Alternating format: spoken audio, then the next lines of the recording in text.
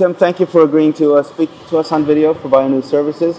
Tim Boyd is Director of State Policy for the National Organization for Rare Disorders, based in Connecticut, and I understand you work out of Washington. Yep, thank you for having me. My pleasure.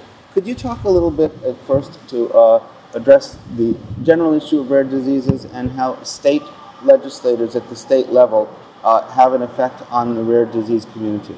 Yeah, of course. I, the basic dynamic at play is that a lot of healthcare decisions that affect rare disease patients and their families and caregivers are made at the state level.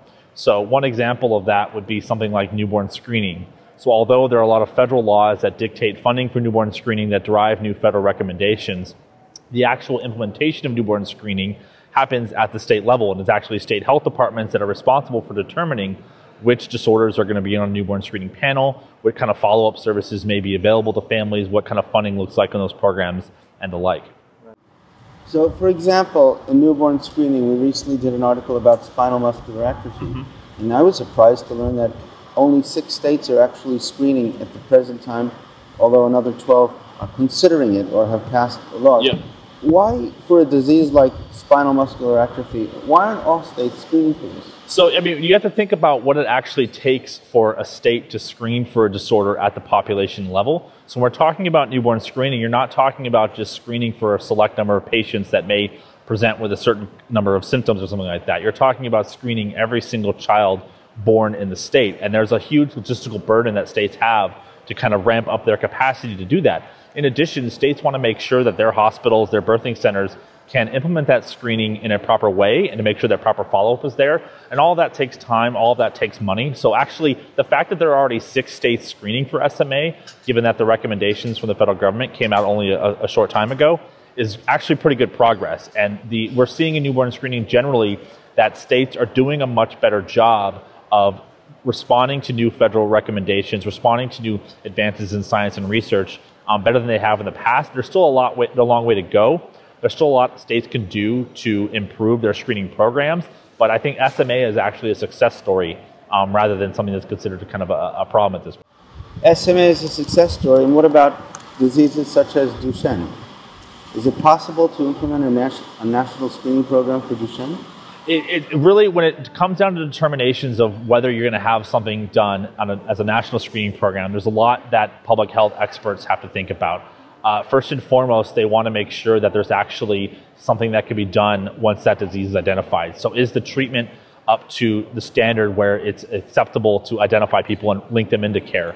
Um, in addition, you actually have to have a very uh, a newborn screening test that is reliable and effective enough to make sure that it's not going to have a lot of false negatives or false positives. That's the same. I can't speak to Duchenne specifically, but that's the same for any kind of condition where the standards that states have, the standards that public health experts have for what is on a newborn screening program and what is not is quite high, and it takes a long time to advance the research and advance the science to get to that point where disease could be on those programs. That is one of the things that NORD and other organizations are working to improve. We want to make sure that more money goes into newborn screening research to make sure that there are that the benefit of screening, which is that early identification and early diagnosis, can be uh, used by more diseases. But we have to make sure the research uh, supports that. At, at present, how many diseases are, uh, are states screening for? There is a, a, maximum of about 65 on both the core recommendations and the secondary recommendations. But the core recommendations, which are the ones that which there are individual tests for, there's a, a, about 35 tests that are recommended by the federal government, and then there's another 30 or so that can be detected as part of those primary tests, um, which most some states choose to screen for, some do not. Some have the capacity to screen for, okay. some do not. Um, I wanted to look in, in a, speaking more generally now, uh, NORD's mission obviously is to help patients with rare diseases. Could you talk a little bit about the legislative picture in 2019 now that Democrats control uh, uh, you know, both houses of Congress? Uh, has, has anything significantly shifted? Yeah, I think the one thing that we are really paying attention to at NORD is that the Congress has heard Democrats and Republicans has heard loud and clear that people are really concerned about the cost of their health care and the access to their health care. And within that, I think people are really concerned about the cost of therapies and the incentives that go into developing therapies, including orphan drugs and treatments for rare diseases. The, the conference we're at today, the Orphan Drug Congress, is an example of how important therapy access is to the rare disease community. So I think one of the things we already know that the House of Representatives is looking at is the cost of medications and all the players in the health system that affect how much drugs cost and how much patients have to pay for them. And so that's something that NORD is, is, is very aware of, and we're developing our, our programs and plans to make sure that we can be- best represent the rare disease community in those discussions. At this conference last year, one of the big hottest topics was the Orphan Drug Act. Yeah. And the threats uh, to, well, threats by the Senate to either repeal it totally or to significantly reduce it. In the end, the uh, tax benefits were cut by half. Yeah. Correct? Are you satisfied with that, or are you worried that this is still in danger? We always want to make sure that the Orphan Drug Act and the Orphan Drug Tax Credit are continue to be successful. There's no doubt it is undeniable that the Orphan Drug Act and the incentives therein have fostered robust development into treatments for rare diseases. Obviously, it's been 35 years since this law was put in place, and there's been amendments along the way that time. So we're always trying to make sure that the law reflects best clinical practice, reflects best evidence, but it is by and large working incredibly well. And so our focus is on making sure that in efforts to potentially reform our entire health system, that we don't throw out the Orphan Drug Act, that we don't make drastic changes to the Orphan Drug Act without understanding how that will specifically affect development and access to care for rare disease patients. Well, now, opponents of the Orphan Drug Act, specifically the tax credit, say that pharmaceutical companies have abused this by creating, you know, similar drugs that are not exactly the same, but you know, in, in order so that there could be loopholes so that these drugs can get tax incentives and, and patent protection, et cetera, exclusivity protection. And I know that NORD has you know, gone to a lot of effort to, to lobbying to keep this, to keep the, yeah. the tax credits as they are, without any, you know, without any changes. What do you say to those critics who say that the farmers are basically abusing and gaming the system? The, the reported pharma abuse of the Orphan Drug Act, I think, is emblematic of a lot of myths that are out there about the ODA and about orphan drugs in general. I think one of the big misconceptions about orphan drugs is that they are this system that we have in place, these incentives that we have in place, are abused for the purpose of developing blockbuster drugs, and that they take what is supposed to be for a small population and expand it out uh, for a much bigger population. That's just not true. And actually, on Nord's website, you can find a, a document that we produced called Seven Myths of the Orphan Drug Act. Actually, at our booth over there in the conference center, that document is out there as well. Um, we, we dispel a lot of those myths by, myths by focusing on actually the realities of what these incentives do and do not do. And when you actually look at the data, when you look at the information, you find that a lot of that concern, while there is certainly good reason to think about drug costs in our country, that is not necessarily being driven by the Orphan Drug Act, and the abuses um, that people think are existing within the Orphan Drug Act aren't necessarily there. And so I would encourage folks who have questions about that to check out our, our, our, information on the myths about the Orphan Drug Act. Now, another hot button issue last year, I remember at this time, was the right to try. Yeah. And NORD lobbied very heavily against right to try, even though um, emotional testimony was heard in Congress about patients who had nothing to lose and were uh, going to die anyway without some miracle. Yeah. Uh, could you talk about that? And do you expect right to try to be uh, to come up yet again? I think well, it's it, well, it's not going to come up again right now because it's the law of the land. I mean, right to try was passed and enacted. Um, we did oppose it because we felt that it was largely duplicative and unnecessary, given that the FDA compassionate use program has been incredibly successful. Right. Um, but I think we're we, we, like many others, are waiting to see what happens with right to try and see if people are able to to use it in a way that benefits them. That that remains to be seen. But we don't we don't expect it to come up um, based on the conversations I've had this year. Right. But I, I, represent state policy, so I can't say for certain what may happen federally. How many before right to try became federal law? How many states? I this was like 38 or 39 states had already passed laws of their own. Yes, right. there's a good deal of states that have passed their own state right to try laws. Yeah. So if states at the state level have a law that allows patients to try experimental drugs that have not been approved by the FDA What's the purpose of a national law? The, as I understand it, the purpose of the national law was that you have to deal with the federal prohibitions on that in addition to the state prohibitions. So, I mean, going, you know, states cannot overrule federal law. Um, they cannot overrule the federal government. And right. so, while states can eliminate their own barriers to potentially to enact something like right to try, that would not that does not address the potential federal barriers that exist.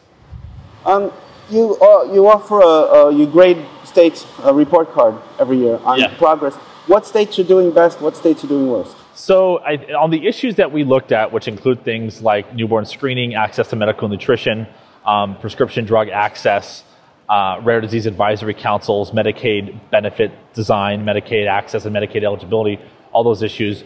We found that a few states, like California in particular, Maryland, um, have, are excelling at, at all those issues that we analyzed.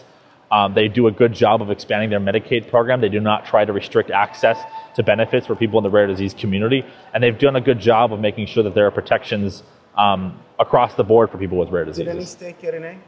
On, we did not provide an overall grade. So we only provided grades on our individual categories. So you would say Maryland and California are the best performing states? Uh, there are two. They, those are two states that did quite well. Um, Maryland being obviously local to the conference here in DC. There's a lot of other states that did quite well as well on, on different categories. A lot of it, though, I think the majority of states, it's mixed. And you have some states that they have a really great policy when it comes to newborn screening, but they don't have a great policy when it comes to their Medicaid program. Or they don't have a good policy when it comes to medical nutrition or something like that. At the other end of the spectrum, what states did poorly? There are a lot of states out there that have are falling behind some of the leaders when it comes to rare disease policy. In particular, one issue that we're really concerned about with several states is work requirements in their Medicaid program. So, right now, in most states, if you are on Medicaid, you're not required to prove that you have employment in order to receive those Medicaid benefits. But a, a lot of states that we looked at, um, such as Arkansas, uh, Kentucky, and a few others, have either enacted work requirements in their Medicaid program or proposed work requirements in their Medicaid program that would potentially result in thousands of people um, who need access to health care coverage being kicked off of those programs. Because they're not working. Because they are cannot prove they're not meeting the requirements of, of the program. So it's not necessarily the case that they're not working. It's just sometimes it's the case that they're not fulfilling the paperwork to prove that they meet that requirement or have an exemption to that work requirement. Is this kind of a subtle way of kicking them off the, the, the, the welfare roll, so to speak? Uh, it, it's not welfare, but it, it, it is the I think if you want to take the take the proponents of work requirements at their word, they believe that this is a way to improve the programs and promote work and ultimately promote health. The evidence out there does not suggest that that, that these programs will accomplish that goal. Um, and what we have seen, the evidence that we do have shows that when these requirements are implemented in a very um, harmful way, that lots of people are being kicked off Medicaid programs that should be eligible even with the work requirement in place. I understand. Um, so, if we could talk about states that you feel maybe have the most room for improvement, to put it politely. Yeah. Uh, could you name a few? I, I don't. It's, it's, there's 50 states that we cover, so it's hard to kind of go through every one. But I, I, in general, the issues that we found where there's a lot of room for improvement across most states are issues like protecting patients from high out-of-pocket drug costs, issues. Issue. Yes. Protecting patients from high out-of-pocket drug costs. Yes. So that's an issue that not a lot of states have taken action on. Um, there's a lot of states out there that could serve to expand and better support their newborn screening programs so that they can continue to add new diseases as they are recommended by the federal government to their panels. There's a lot of states that have not looked at increasing their Medicaid eligibility, of the so-called Medicaid expansion. Right. Um, there's still a handful of states that haven't done that yet, which those states were marked down in our report card. Um, and there's a, a, new issue for us that we didn't necessarily grade every state on is the creation of rare disease advisory councils. There are seven states currently that have created a rare disease advisory council within oh. their government, but obviously seven have, uh, 54 haven't. states of those? Those states are Connecticut, mm-hmm. Pennsylvania, Missouri, Illinois, Alabama, and forgetting one more, and Kentucky and Alabama. I already mentioned Alabama. Sorry. The last two are surprises indeed. Do you cover the district as well? Yes, I mean we do, we the district's kind of an interesting dynamic in terms of doing work in that state, but we do have done a little bit of advocacy in DC. Okay. What about Puerto Rico?